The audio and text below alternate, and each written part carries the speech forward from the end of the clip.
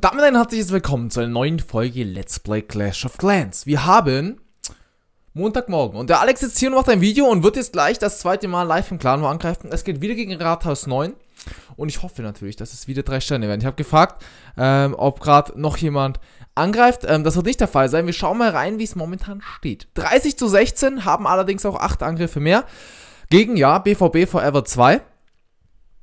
Und ähm, wenn wir mal so kurz durchscrollen, was bisher so abging.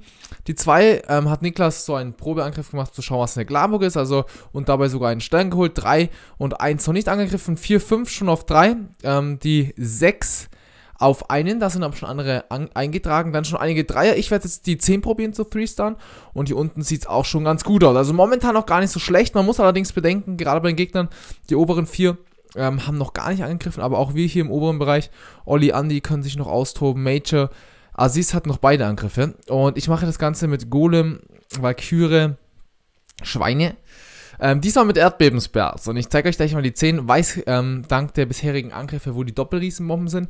Wir haben einmal hier neben diesem X-Bone eine Doppelriesenbombe und einmal hier bei Kanone und Luftabwehr eine Doppelriesenbombe. Das heißt, ich werde ähm, bei dem Magierturm probieren, die erste Mauer mit Mauerbrechern zu durchbrechen und möchte dann äh, mit, nein, Blackout, ich möchte hier mit Mauerbrechern bei den Minenwerfer und möchte dann so über die Luftabwehr leicht nach innen gesetzt den Erdbebenspell und im Optimalfall möchte ich auch hier die Mauer ins Zentrum. Also ich werde den Erdbebenspell hier so über diese Mauer setzen oder eher so über diese, hier in dem Bereich irgendwo zwischendrin. Das sollte klappen, dass ich ein paar Bereiche kläre. Und dann ist natürlich Sinn, dass Golem, Valkyren alles natürlich schon in die Mitte ziehen. Das heißt, diesmal schön lange warten, bis die Außengebäude down sind. Ähm, und dann möchte ich hier und hier die Doppelriesenbomben auslösen und dann mit den Schweinen von unten ne, ähm, nach und nach kommen. Hab dann auch noch einen Riesen zum Tanken dabei, wie ihr es hier gleich sehen werdet. Ja, ähm, und bin wirklich sehr, sehr gespannt. Jetzt schauen wir uns noch einmal die Wiederholung an. Was ich nämlich gerade nicht weiß, ist, was in der Clanburg drin ist. Das schauen wir gleich mal. Okay, ist hier nämlich mit dem Queen Walk gekommen, von der rechten Seite. Und dann mit den Golems von der anderen. Hat hier den Woodsberg genutzt. Und die Queen ist dann außen rum. Da gab es bei ihm den Erdbebenspell hier im unteren Bereich und von hier ist er dann mit den Golems gekommen. Und das schauen wir gleich mal, was aus der Clanburg rauskommt, weil Kühen ziehen halt ein Hound. Gut, das passt. Puh, ich bin mördernervös. Ähm, alles ist grün. Zwei Golems, 20 Schweine, Magier. Perfekt. So, dann fangen wir es erstmal an mit unseren Golems.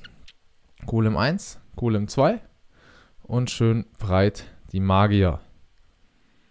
So, dann kommen wir jetzt hier mit den Mauerbrechern in die Mitte rein und nehmen unsere Erdbeben-Spurs. So, dann machen wir unsere Helden. Die sollten eigentlich reinziehen. Und die Valkyren auch. Erdbebenspell hat auch gepasst. Sehr, sehr schön. Jetzt hauen wir hier den Wutspell rein. Und etwas weiter hinten dann den Healspell. Passt. Passt noch alles wunderbar. Hier gibt es den Houndsplit. Doppelriesebombe links und rechts ausgelöst. Und jetzt kommen wir hier mit den ersten Schweinchen. Und hauen mal hier den ersten Hirsbär rein. Für unsere Schweinchen. Machen hier den Riesen zum Tanken. Zünden unseren King. Und nutzen hier den nächsten Heal Spell. So, dann schauen wir Magier hinterher. Hier oben auch. Ein Schweinchen noch. Queen können wir noch zünden. Hier gleich mal ein Goblin. Beziehungsweise Minion. Und hier Goblin. Schaut, glaube ich, ganz gut aus. Vier Def-Einheiten haben wir noch. Schweine sind noch ein paar da. Queen geht aufs Rathaus. Schauen wir mal. Riesenmom ging beide schön down. Und die Magier räumen außenrum auf. Schweine splitten sich jetzt, das ist optimal. Jetzt ging das Rathaus down. Das sollten noch drei werden. Schauen wir mal, Bauhütten. Oh, die Bauhütten sind fies. Aber das sollte hoffentlich reichen. Zeit haben wir noch. So, wer geht jetzt zu den Bauhütten? Mal schauen, ob irgendwer zu den Bauhütten geht. Ja, Magier und Schweine. Und hier oben wird auch weiter aufgeräumt. Jetzt zünden wir... Wenn die Queen auf die Mauer geht, zünden wir sie. Das heißt jetzt. Dann kriegt sie einen kleinen Powerschub. Ja, das sollte doch easy hinhauen. Ähm, Riesengolem wurde gesplittet in zwei kleine. Und ganz zum Ende sollte dann die Bauhütte dran glauben. Und ich bin zufrieden. Auch wenn es wieder nur ein Rathaus 9er war. Ähm, ging gut, beide Doppelriesenbomben gingen down. Ähm, das war am Ende entscheidend. Und was mich auch freut, dass wir hier eben zwei neue Sternchen dazu bekommen. Und damit steht es jetzt 32 zu 16. Doppelte Sternenanzahl eigentlich. Und ja, ähm, jetzt schauen wir mal. Hier unten, Rathaus 9er fehlen noch 1, 2, 3, 4 Stück, ähm, dass die ähm, gethreestart werden. Wir haben noch 10 Angriffe und oben noch 3. Also insgesamt brauchen wir noch 7 Angriffe, wo was klappen muss. 3 können also in die Hose gehen. Im Optimalfall natürlich 1, 2, 3 auf 2 Sterne. Und ansonsten schauen wir mal rein, was bisher noch so abgegangen ist. SpongeBoss, die 6 auf die 14, ähm, hat einen 3-Star gemacht. Niklas, wie gesagt, das war so ein Aufklärungsangriff. Den können wir uns ja mal gerne anschauen, dass ihr seht, wie das in etwa aussah. Er hat es hier mit Golem Wizard Packer gemacht und hat sage und schreibe sogar einen Monster geholt, was ich irgendwie schon nice finde für einen Rathaus-Achter. Äh, mit den Erdbeben-Spells macht ihr den Weg Richtung Zentrum frei. Kommt hier mit zwei Golems auf Level 2. Macht die Magier hinterher. Und er hat ja nur den King, er hat ja keine Queen. Kommt jetzt hier mit drei Packers, Valkyren und Magien aus der Glamburg und dem King rein. Und jetzt wird es dann hier gleich den, Osten, den Heal-Spell geben und auch gleich, denke ich, den Wood-Spell Richtung Rathaus, dass da die Packers ein bisschen klären. Inferno ist schon am Fokussieren. King zieht auch in die Mitte und jetzt haben wir hier besagten Wood-Spell. Und da wird dann jetzt gleich das Rathaus regelrecht penetriert. Das ist innerhalb wenigster Sekunden down gegangen. Und der Gegner Glamburg ein Hound. Ja, und am Ende kann man sagen, hier eine Doppelriesenbombe im Zentrum noch aus, äh, eine Riesenbombe, Entschuldigung, im Zentrum ausgelöst. Und wenn alle Stricke reißen, dann wurde hier immerhin schon mal ein Monster geholt. Also man kann sagen, klar, Monster reicht nicht, aber Rathaus 8 gegen Rathaus 10. Ähm, klar, das Rathaus war hier eher außen, also ist auch eher, denke ich, sogar fast eine Anti-3-Star-Base. Aber völlig okay. Also hier hat er dann noch ein bisschen, ihr seht, mit seinen restlichen Truppen die Minions hin und her gelockt, ein paar Prozente geholt. Und ja, nettes Ding vom Niklas. Ähm, kann man schon mal machen. So, aber wir schauen mal noch weiter. Reigns zweimal mit dem Two-Star, ähm, einmal an der 13, der 11, knapp gescheitert, beide Male 8, äh, 89 und 91 Prozent. Äh, Marv, einen schönen Dreier, den wir uns gleich mal anschauen. Ähm, hat das Ganze auch ohne Queen Walk gemacht, heißt Govahawk. Hier das Rathaus lässt sich in dem Fall so easy holen, dass da gleich zwei Minions reichen. Also der One-Star auf alle Fälle schon mal sicher. Außer da würde eine Clanbock hinkommen und die Minions killen. Also auch hier natürlich wieder eine absolute eine 3-Star-Base. Und auch hier, ich habe das schon erwähnt im gestrigen Video, sehr, sehr fiese Base-Layouts einfach. Wir haben so unglaublich viele potenzielle Doppelriesenbomben-Spots. Ähm, ja, ist mit Schwein riskant, aber er hat es riskiert und es ist ja am Ende auch gut gegangen. Kommt hier mit den Golems, macht Mauerbrecher hinterher, ist auch durchgekommen. Möchte dann hier oben auch nochmal durchs zweite Stück brechen. Das hat auch funktioniert. Golems ziehen jetzt aber gleiche, beide ins gleiche Feld rein. Die Valkyren hat das rechts gesetzt und jetzt wird es gleich spannend. Hatte ganz viel Glück gehabt, dass ähm, das Baby hier down gegangen ist vom Magier und so die Valkyren reingezogen sind. Jumpspell in die Mitte, also da hat er mit den Mauerbrechern wirklich schön aufgeräumt, haut hier auch den Wut rein, wo momentan noch niemand drin ist. Jetzt aber die Valkyren reinziehen und jetzt auch gleich die Golems und Helden reinziehen. Jetzt gibt es hier einen Heal-Spell, Gift-Spell haut auch auf die Glamour, kam eine Hexe, haben wir schon lange nicht mehr erlebt. Doppelriesenbombe Nummer 1 geht down, das war sehr, sehr wichtig und der kommt jetzt auch von dahinter oder eher so von der rechten oberen Seite. Ähm, langsam mit den Schweinchen in kleinen Grüppchen.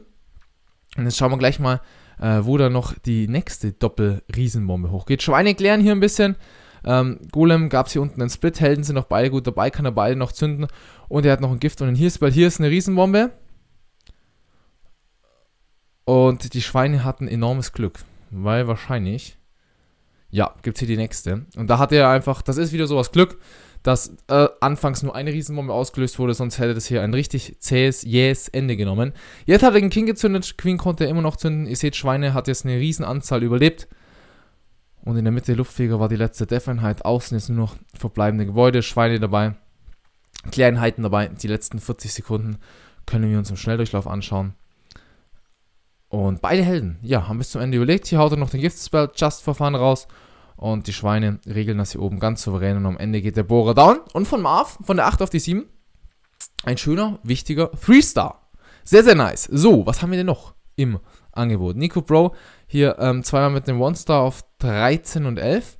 Nils 78%, Major Sky, ähm, den nehmen wir auf alle Fälle noch mit.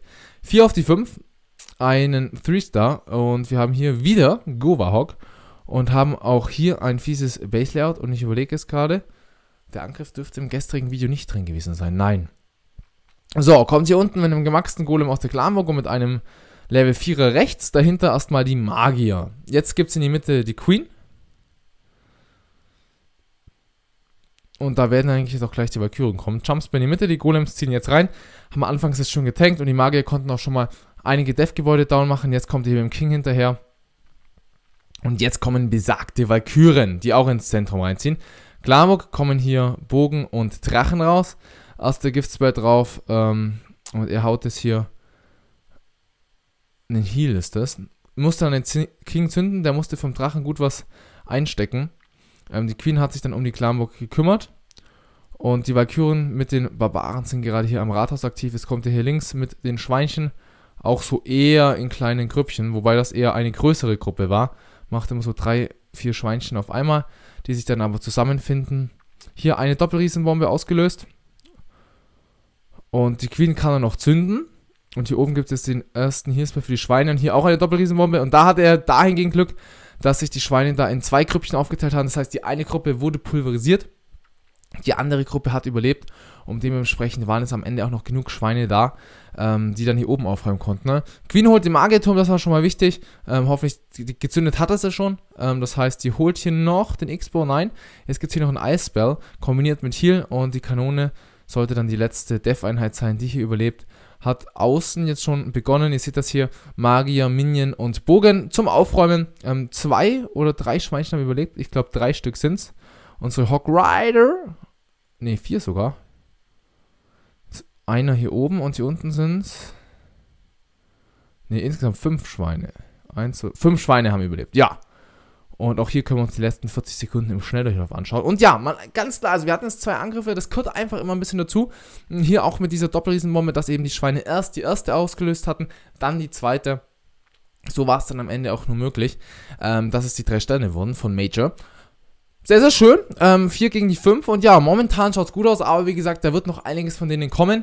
Und ich werde euch natürlich im nächsten Video dann, wenn es noch mega Highlight-Angriff gibt, gerade hier im oberen Bereich Rathaus 11 gegen 11, ähm, den nachreichen. Das hier oben waren auch nur zwei so Spionierangriffe von Pain for Life äh, mit 22 und 19 Prozent. Und ich bin auch gar nicht angegriffen worden. ansonsten seht ihr hier zwei Two-Star, One-Star, Three-Star. Alles dabei, aber wir haben deutlich mehr Angriffe. Und ich bin jetzt gespannt, wie das Baby hier ausgeht. Ähm, morgen gibt es dann die Auflösung. Ähm, ich hoffe, die heutige Folge hat euch gefallen. Lasst doch gerne einen Daumen hoch da. Abonniert mich, wenn ihr es noch nicht gemacht habt. Und wir sehen uns dann morgen Abend wieder. Macht's gut, bis dann. Ciao, ciao.